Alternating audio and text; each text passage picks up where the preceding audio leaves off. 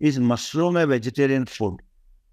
Uh, it is. It is. It is uh, neither vegetarian or non-vegetarian because that's why I just avoid uh, all those controversies. I say it is plant food. It is not a plant. It is a dead material. Uh, it is a fungus. So it is not plant. It doesn't have chlorophyll. It doesn't have fiber content. It doesn't have alkalinity. All this ten point find uh, what we told, and it is it grows in darkness. Is free from. It is away from the sunlight. So we have to take energy from sunlight in different colors, and it is colorless dead material. Yeah. Mushrooms of any sort. Yeah.